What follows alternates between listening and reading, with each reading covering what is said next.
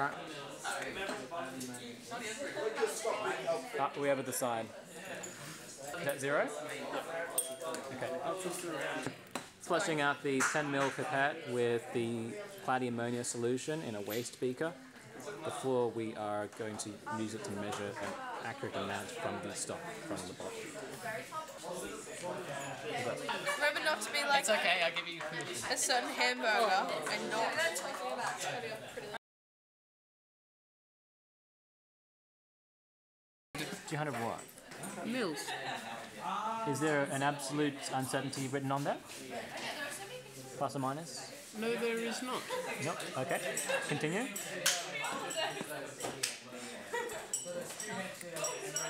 Now, careful not to overfill because you only get one shot. The um, automatic pet thing. Yeah, yeah. And what is the use of this for? Inverting the flask? Well, uh, if you have cordial, you'll notice that when you mix them together, they don't always mix completely until you stir it. And putting a glass right in there is going to be difficult, so we actually invert the flask itself. Of science. We just we just diluted it. And it. No flushing it here. We don't. It's best this. Yeah. Well, you got four minutes, so like five seconds, so you gotta do it fast. How many? Hey, you look so focused.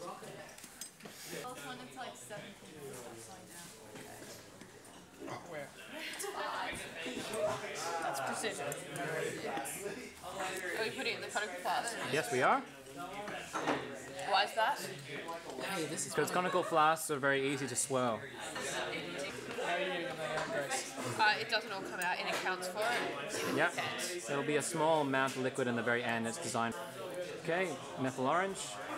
It won't react. Oh. You have to wait for it to Then swirls. Okay. So when are we still gonna start slowing When down? are we slowing down? Uh, when you start to see those small volumes making a big color change. Do you know when Wizardry! Chemistry quizzes? This now that it's higher, it's easier to, Yeah. for us to swirl. Quicker. No, sorry, swirling. Stop, stop, stop, stop, stop, stop. Ooh, that's a nice one. Okay, we just went past. No! 6.8. I don't think we've gone that far past. 6.8. Really, Yeah, I think it's on. I think, okay. Because I think So let's write that down. Let's write that down. 10.8. 10.8 milliliters is our ballpark. The error for our measurement is actually twice the absolute error because we had one error when we when we measured the zero, and one more error when we um, measured the second reading. That's, no, that's, That's two measurements for the same device. Uh, 0.1 actually. There's there's too many zeros. It's in Plus or minus. 0.005. No, because the most Oh, yeah. accurate measurement we can get here is 0.1 of a milliliter. If you halve that for your absolute uncertainty, but we did two measurements Oh, on it, it's so we, only 0.05. I thought so it we was point. Oh remember the trick we had last time? We used the water to squirt off the extra droplets. Yep. Hey? So where's the squirt? Do you want to use this to squirt off the extra droplets Yeah, that works too. rather than that because that's going to happen. Well, It doesn't matter though. it doesn't matter. It shouldn't matter. no, with that, it's So what you want to do is you want to try and achieve the small, the, the, the slowest drip feed as possible. Like that? Yeah. And perhaps the person who's stirring Oh has. yeah, it's gonna go anyway. Okay. Looks like we're there. Ta-da! Squirt it off. Squirt it off. Squirt the sides off with this. Of, of the burette. Yeah. Okay.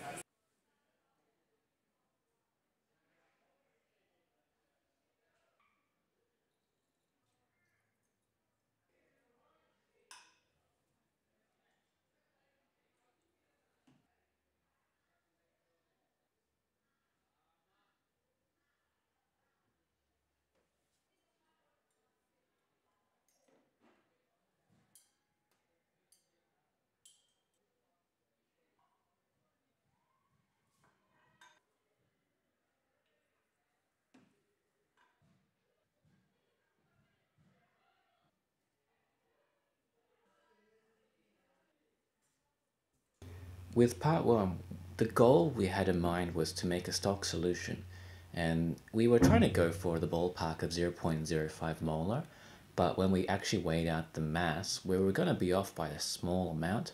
So we need to calculate back again how exactly from this mass of sodium carbonate, how many, mol, uh, how many moles per liter was that in the end.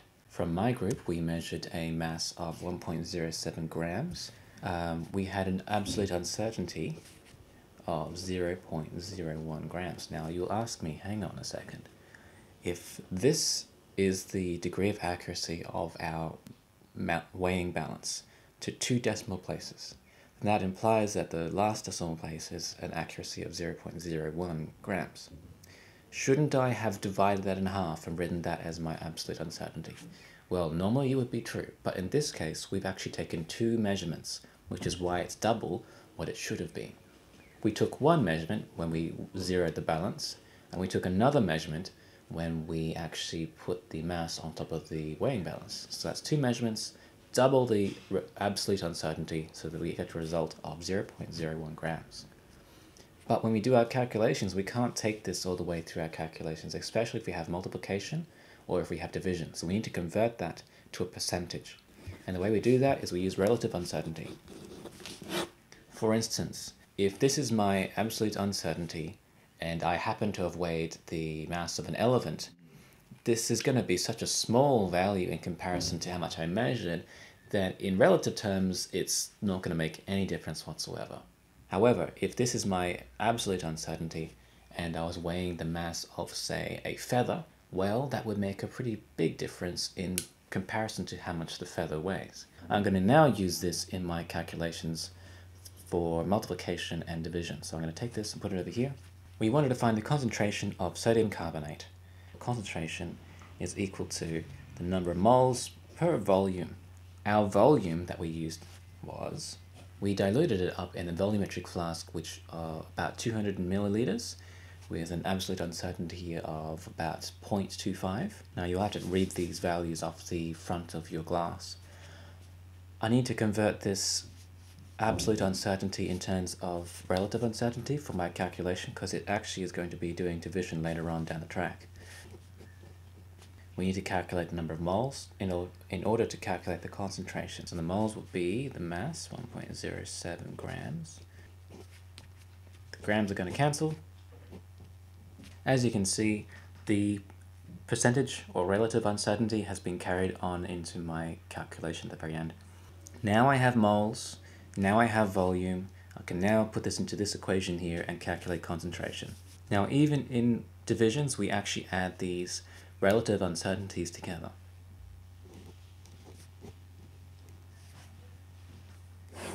And there's our answer.